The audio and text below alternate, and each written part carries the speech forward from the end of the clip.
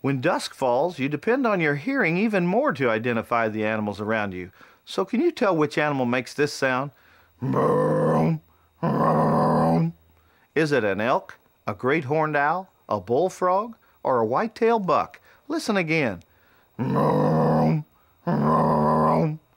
It's a bullfrog. And here's another memory trick to help you remember his call. Some people think he's saying jug a rum.